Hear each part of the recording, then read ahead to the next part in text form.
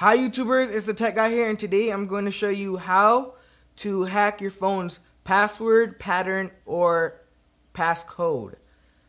Let's get started. You want to run your ADB, oops, excuse me, you want to run your command prompt as an administrator. A prompt is going to come up, click yes.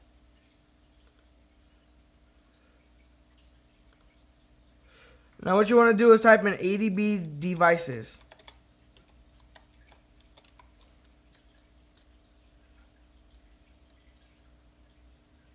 Sorry, hold on. Yep. There you go. After you do that, type in ADB shell. Sorry it's a little blurry, but just listen to my voice. Hit SU. I mean, type in SU.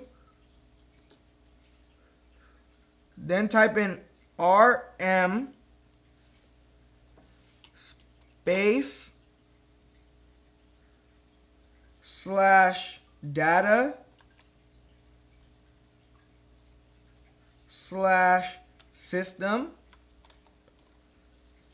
slash gesture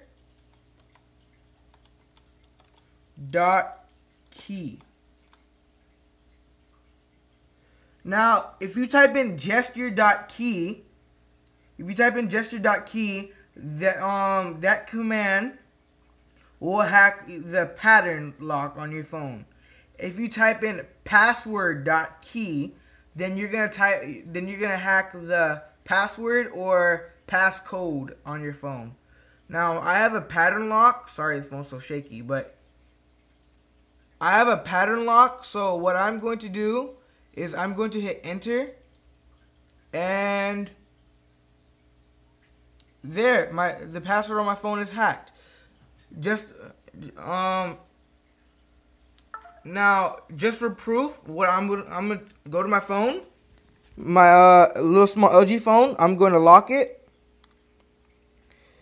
and I'm gonna put in any password I want and unlock. And usually, look, you um with Android phones, you're supposed to have four dots like this in order to pass and, and unlock your phone.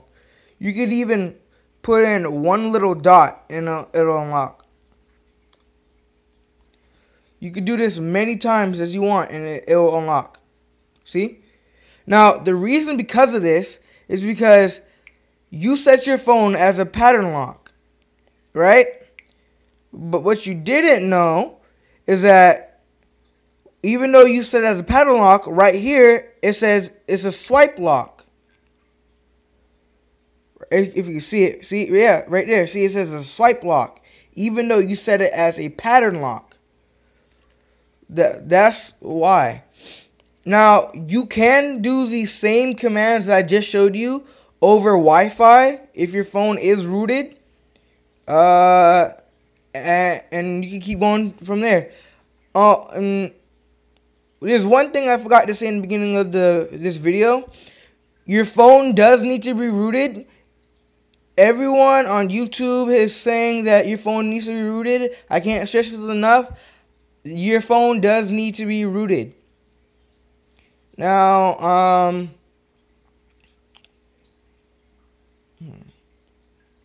oh, and uh, you also need if you um there, there's also a way that you could do this on your phone. I'll talk about that in a later video.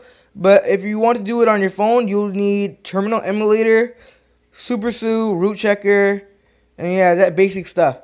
That's it for today guys. Please like and subscribe. I'm out. Peace